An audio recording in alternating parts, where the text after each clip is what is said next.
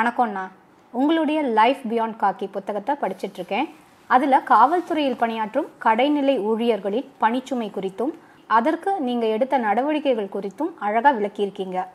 அதே போல் தமிழ்நாட்டில் இப்போது நடக்கும் திமுக ஆட்சியில் காவல்துறையினரின் அடாவடி நடவடிக்கைகள் லஞ்சம் லாக்அப் கொலைகள் குறித்து உங்களுடைய பார்வை என்ன?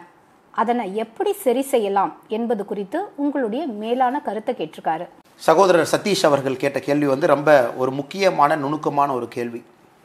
இப்போ இந்தியாவில் வந்து பல விதமான போலீஸ் ஆஃபீஸர்ஸ் நமக்கு பணியில் இருந்திருக்காங்க. உதாரணத்துக்கு ஒரு ஜூலியோ ரிபேரோ ஒரு மும்பையை சார்ந்த ஒரு கமிஷனர் ஒரு போலீஸ் டிஜிபி அவருடைய காலகட்டத்தில் மகாராஷ்டிரா போலீஸ் எல்லாம் பார்த்தீங்கன்னா என்கவுண்டர் மோடில் இருந்தாங்க. அதாவது தவறு செய்தால் யாராக இருந்தாலும் உங்கள் பின்னாடி வரும். அதனால தான் மும்பையில் பார்த்தீங்கன்னா ஒரு டென் டுவெண்ட்டி இயர்ஸ் பேக் அடிக்கடி என்கவுண்டர் காப் என்கவுண்டர் ஸ்பெஷலிஸ்ட் அப்படிங்கிற வார்த்தையை மும்பை கொண்டு வந்தாங்க. இதெல்லாம் தாண்டி நம்ம பஞ்சாப் எல்லாம் போயிட்டோம் அப்படின்னா ரிபேரியோ அவர்கள் அதுக்கு முன்னாடி பஞ்சாபுக்கும் போனாங்க. கவர்மெண்ட் ஸ்பெஷலாக பஞ்சாபுக்கு கூப்பிட்டாங்க. அங்கே நிறைய கேபிஎஸ் கில் மாதிரி போலீஸ் ஆஃபீஸர்ஸ் வேலை செஞ்சுருக்காங்க. அவங்கள புல்லட் ஃபார் புல்லட் அப்படின்னு அதாவது நீ என்னை சுட்டா நான் உன்னை சுடுவேன் அப்படின்னு பஞ்சாப் மிலிட்டன்சி என்று கொண்டு வந்தாங்க. இப்போ தமிழ்நாடு மாதிரி ஒரு ஊரில் ஒரு வால்டர் தேவாரம் ஐயாவோ அதன் பின்பு நம்முடைய விஜயகுமார் ஐயாவோ வீரப்பன் ஆப்ரேஷன் அந்த விஜயகுமார் ஐயா இவங்கெல்லாம் ஒரு வித்தியாசமான போலீசிங் ஸ்டைல் கொண்டு வந்தாங்க. பப்ளிக் அப்ரோச் அதே நேரத்தில் ஹார்டாக இருப்பாங்க கிரிமினல்ஸ் மேலே. இவங்கெல்லாம் நம்ம இன்றைக்கி ஒரு சின்ன குழந்தைய கேட்டால் கூட பேர் சொல்லுவாங்க. இப்போ நான்லாம் சின்ன குழந்தையா இருக்கும் பொழுது எனக்கு எனக்கு யாரை பிடிக்கும்னு கேட்டிங்கன்னா நான் கோயம்புத்தூரில் காலேஜில் படிக்கும்போது பொன்மாணிக்கவேல் அவரை பார்த்துருக்கேன். தமிழ்நாட்டில் இப்போ சிலை கடத்தல் தரப்பு ஐஜியாக இருந்தவங்கள. இப்போ எனக்கு ரொம்பவே ஒரு நிறைவான சம்பவம் என்னென்னாங்க ஒரு நாள் பொன்மாணிக்கவேல் ஐயாவை வந்து பிஎஃப்ஜி டெக் ஒரு நிகழ்ச்சி கூப்பிட்றதுக்காக நான் போகிறேன் அன்றைக்கு அவருடைய குறைதீர்ப்பு முகாம். ஒரு முந்நூறு நானூறு பேர் இருக்காங்க. ஒரு ரூரல் எஸ்பி அன்றைக்கி கோயம்புத்தூர் ரூரல் எஸ்பி நிற்கிறாரு ஒரு பாட்டி சொல்கிறாங்க நான் சூலூர்லேருந்து வந்திருக்கேங்க ஐயா அவங்க போலீஸ் ஏதோ பண்ணலை அப்படின்னு. உடனே நாங்களாம் நாங்களாம் க்யூலேருந்து பார்த்துட்ருக்கோம் ஒரு பெரிய ஒரு மனிதர் எப்படி அப்படின்னு பார்த்துட்ருக்கோம் உடனே பொன்மாணிக்கவேல் ஐயா ஃபோன் எடுத்து பேசுகிறார் அந்த சூலூர் பகுதியில் இருந்த அந்த இன்ஸ்பெக்டர்கிட்ட. சார் நீங்கள் வண்டி எடுத்துகிட்டு நேராக நம்ம ஆஃபீஸ் வாங்க. இங்கே ஒரு அம்மா இருக்கிறாங்க. உங்கள் வண்டியில் உட்கார வச்சு நேராக கூட்டிகிட்டு போங்க. இந்த அம்மா உங்களை ரெண்டு டைம் பார்த்துக்கொண்டு நீங்கள் வேலை ஃபெயிலிங்கிறாங்க உடனே எஃப்ஐஆர் போட்டு சார் இந்த அம்மாவை கொண்டே வீட்டில் விட்டுருங்க. மறந்துடாதீங்க சார். நீங்கள் வர டீசல் காசு உங்களோடது அப்படின்னார். ஸோ இந்த மாதிரி மனிதர்களை நாம் பார்த்துருக்கின்றோம். விஜயகுமார் சார் வந்து ரொம்ப அருகாமையில். இன்றைக்கி வந்து என்னுடைய ஆசானாக எப்பொழுதுமே போலீஸில் வந்து நான் விஜயகுமார் சாரை வச்சுக்குவேன். இந்த டெசிஷன் விஜயகுமார் சார் எப்படி எடுத்திருப்பாரு? இது எப்படி எடுப்பார்? இது எப்படி யோசிப்பார் அப்படின்னு. ஏன்னா விஜயகுமார் சாருடைய புத்தகத்தை படித்திருக்கின்றேன்.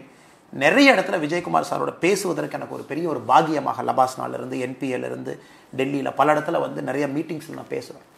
அதனால தான் இந்த புத்தகம் வந்து விஜயகுமார் சார் தான் இந்த புத்தகத்துக்கு முன்னுரை எழுத வேண்டும் என்று நினச்சிட்டு தான் அந்த புத்தகத்தை ஆரம்பித்தேன் நீங்கள் புத்தகத்தை எழுதி முடிச்சுட்டு முன்னுரை கால் தொலாவீங்க ஆனால் முன்னுரை யார் எழுதுன்னு நினச்சிட்டு நான் புத்தகத்தை ஆரம்பித்தேன் அந்த புத்தகத்தினுடைய கதை. அதன் பின்னாடி விஜயகுமார் சாருக்கு நான் ஃபோன் பண்ணி சொல்கிறேன் சார் இந்த மாதிரி இந்த புத்தகத்துக்கு நீங்கள் முன்னுரை கொடுக்க வேண்டும். அப்போ வந்து நம்முடைய ஹோம் மினிஸ்டருடைய அட்வைஸராக சத்தீஸ்கரில் இருக்கிறாங்க நீங்கள் அனுப்பி வைங்க நான் கொடுக்குறாங்க எப்படிப்பட்ட மனிதர்கள் இருக்கிறாங்கன்னு சொல்கிறக்காகத்தான் அந்த கதையை சொல்கிறேன் உடனே புக்கு போச்சு. ஒரு ஒரு வாரம் கழிச்சு நான் கூப்பிட்டாரு. இந்த மாதிரி இந்த புக்கில் சின்ன சின்ன கிராமட்டிக்கல் மிஸ்டேக்ஸ்லாம் இருக்குது சின்ன சின்ன தவறுகள் நான் பார்த்தேன். அதெல்லாம் நீங்கள் சரி பண்ணணும். நான் திரும்ப உங்களுக்கு அனுப்புகிறேன் சரி ஓகே. ஒரு புக்கை யாராச்சும் படிச்சிருப்பாங்க ரேண்டமாக திருப்பி பார்ப்பாங்க. ஒரு பத்து தவறு இருக்கும். ஒரு முந்நூற்றி பன்னெண்டு தவறு நோட் பண்ணியிருந்தார். கமா இல்லை. இங்கே வந்து டென்ஸ் கொஞ்சம் மிஸ்ஸிங்காக இருக்குது ஃப்ளோ ஸ்லோவாக இருக்குது இந்த பேரா இங்கே வந்தால் சரியாக இருக்கும். அதாவது ஒரு புக் ரிவ்யூ பண்ணக்கூடிய ஆள் ப்ரொஃபஷ்னல் ஆள் அதை அப்படியே எழுதி எனக்கு அனுப்புகிறார் அதுவும் வந்து ஒரு வாட்ஸ்அப்பில் டைப் பண்ணுறார் page twelve line number seven word number three please check அதை பார்த்த பின்பு எனக்கு தெரிஞ்சது ஓகே இதுதான் விஜயகுமார் சாருடைய சக்ஸஸுக்கு காரணம். மெட்டிகுலஸ்னஸ் எந்த வேலையாக இருந்தாலும் சரி சின்ன வேலையாக இருந்தாலும் சரி பெரிய வேலையாக இருந்தாலும் சரி அதற்கு மதிப்பு. எல்லாவற்றையும் தாண்டி செய்யக்கூடிய வேலையின் மீது அர்ப்பணிப்பு எதுக்கு இந்த மூணு பாயிண்ட்டை சொல்கிறேன்னாங்க இந்த மூணுமே ஒரு போலீஸ்காரங்களுக்கு முக்கியம். இப்போ விஜயகுமார் சார் போலீஸாக ஜெயிச்சார். இன்றைக்கி வந்து ஒரு நூல் ஆசிரியராக ஜெயிச்சிருக்கார். இன்றைக்கி நம்ம ஹோம் மினிஸ்டருடைய அட்வைஸராக ஜெயிச்சுக்கிட்டு இருக்கார். இதற்கு முன்னாடி ஜம்மு அண்ட் காஷ்மீர் கவர்னராக ஜெயிச்சார் கவர்னருடைய அட்வைஸராக ஜெயிச்சார். எல்லாத்துக்கும் காரணம் அர்ப்பணிப்பு நுணுக்கம் கடின முயற்சி சின்ன வேலையாக இருந்தாலும் பெரிய வேலையாக செய்வது. இது இப்போ இருக்கக்கூடிய போலீஸ் துறையில் நான் பெரிதாக பார்க்கவில்லை. இது ரொம்ப unfortunate part too much political interference Vijayakumar சார்லாம் துணிஞ்சிருக்கார் துணிஞ்சிருக்கார். ஒரு ஒரு லெவலுக்கு மேலே அரசியல்வாதிகள் தவறான விஷயங்களை செய்ய சொல்லும் பொழுது துணிந்து விடுவார்கள். காரணம் அந்த புக்கில் விஜயகுமார் சார் புக்கில் எழுதுவார். என்கிட்ட ஒரு பழைய அம்பாசிடர் கார் இருந்துச்சு கல்யாணத்துக்கு அப்புறம் நான் வாங்கினேன். சேலம் எஸ்பியாக இருந்தேன். பாதி நேரம் அந்த காரை நான் ஓட்டிட்டு போனேன்னு சொன்னதை விட நானும் என் ஒய்ஃப் அந்த காரை தள்ளிட்டு தான் போயிருக்கணும் அப்படிப்பட்ட அப்படிப்பட்ட மனிதர்கள் தங்களுடைய வாழ்க்கையில் உத்தமர்களாக நீட்டாக வாழ்ந்தவங்கள நம்ம ரோல் மாடலாக பார்க்கணும். ஆனால் இன்றைக்கி எத்தனை அதிகாரிகள் நம்ம பார்த்து நம்முடைய குழந்தைகளுக்கு நீ அந்த அங்கிள் மாதிரி இருக்கணும் நீ அந்த போலீஸ் அங்கிள் மாதிரி இருக்கணும் இவர் மாதிரி இருக்கணும்.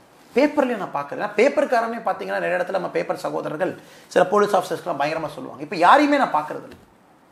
சில பேர் வந்து டிவியில் வரணுங்கிறக்காக சைக்கிளில் போகிறாங்க பால் வாங்குறாங்க வர்றாங்க. அந்த மாதிரி நடக்குதோ தவிர ஹார்ட் அண்டா ஹார்ட் ஃபாஸ்ட்டாக விஜயகுமார் சார் கேலிபரில் வால்டர் தேவராம் சார் கேலிபரில் இல்லை. இது ரொம்ப அன்ஃபார்ச்சுனேட் அவங்க இருந்தாங்கன்னா டிபார்ட்மெண்ட்டு மாற ஆரம்பிக்கும்.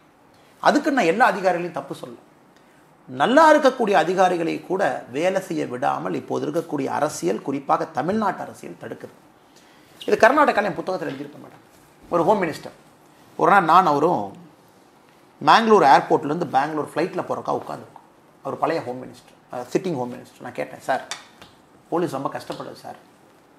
நீங்கள் வந்து இந்த டிபார்ட்மெண்ட்டு கொஞ்சம் ஜீப்பு வண்டிலாம் வாங்கி கொடுங்கப்பா அவன் இன்ஸ்பெக்டர்லாம் நைன்டீன் எயிட்டி த்ரீ ஜீப்பை என்ன பாலிஷ் போட்டு வில்லேஜ் ஜீப் ஓட்டிகிட்டு இருக்காங்க. புதுசாக அந்த பொலிரோலாம் வாங்கி கொடுத்தா வேகமாக போவாங்க சார். நான் தமிழ் தம்பி உனக்கு என்ன அரசியலே தெரிய மாட்டேதுப்பா என் புத்தகத்தில் எழுதியிருப்பேன். நான் எழுதுனது தான் நான் சொல்கிறேங்க உனக்கு என்ன அரசியலே தெரிய மாட்டேது உங்கள் வீட்டில் நாய் இருக்கான்னு கேட்டார்.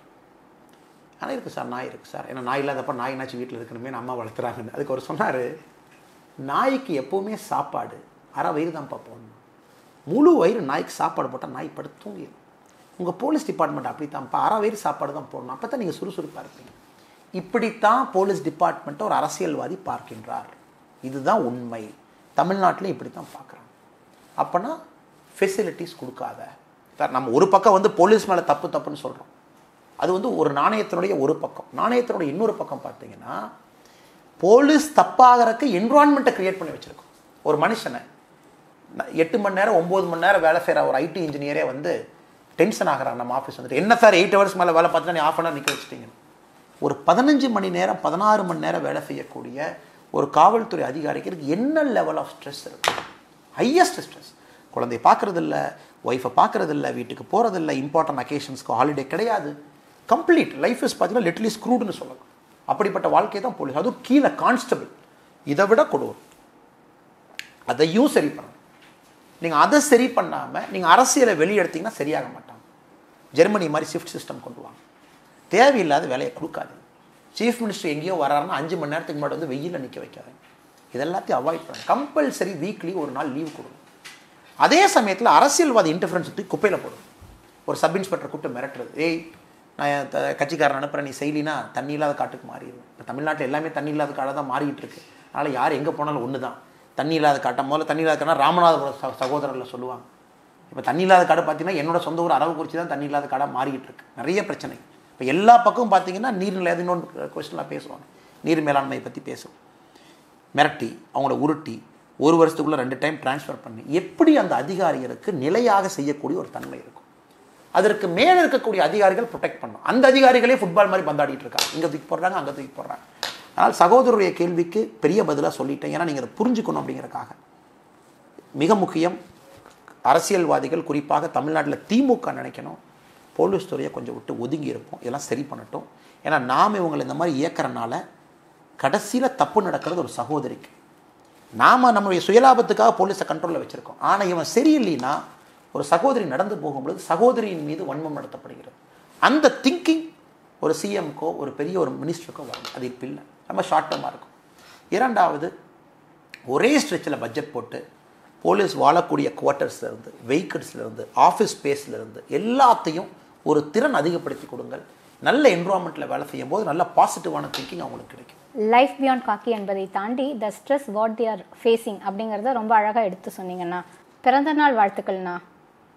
முதலமைச்சர் ஸ்டாலின் என்ன செஞ்சுட்டு இருக்காரு அஹ் சகோதரருக்கு வணக்கம். நான் ஆக்சுவலாக என்னுடைய பிறந்த நாளை வந்து நான் கொண்டாடுவது கிடையாது.